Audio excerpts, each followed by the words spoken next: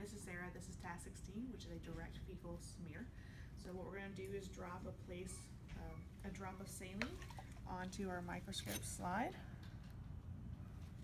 Okay.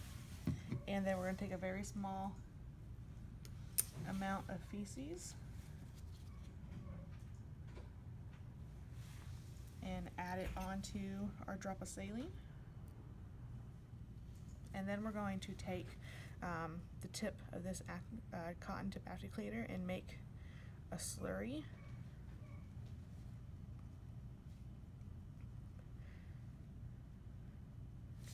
And then we're going to take another slide and make a smear. Alright, so we made a smear on the slide. We want it thin enough where we could read newspaper under it if we had to.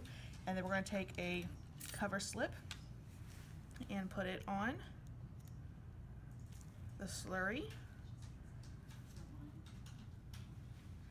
All right, and then we're gonna go over to the microscope and examine this. Ready?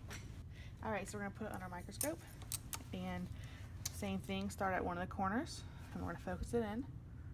We want to systematically start from one end and go down and then over and then up and then down, over, up, etc. Um, it's just so we look at the whole slide. And in this, we're looking for parasites, you know, different ages. We're also looking for eggs throughout all of this. Um, and then we're going to write on their chart if we find anything and how many. Or we'll write NSF for no significant findings. We'll put it in their electric chart, electronic chart, and their paper chart as well as our um, our lab book here.